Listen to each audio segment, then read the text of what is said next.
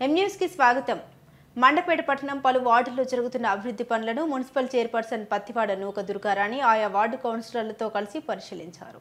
Mandapeta municipal chairperson Pattivada నూక దుర్గారాణి రెండు పదిహేను వార్డు కౌన్సిలర్లు చిట్టూరి సతీష్ గ్రంథి శ్రీనివాస్లతో కలిసి పర్యటించి వారి వార్డుల్లో జరుగుతున్న సీసీ రోడ్డు నిర్మాణ పనులను పరిశీలించారు. కాంట్రాక్టర్లకు నాణ్యత ప్రమాణాలను పాటిస్తూ త్వరితగతిన పనులు పూర్తి చేయాలని సూచించారు.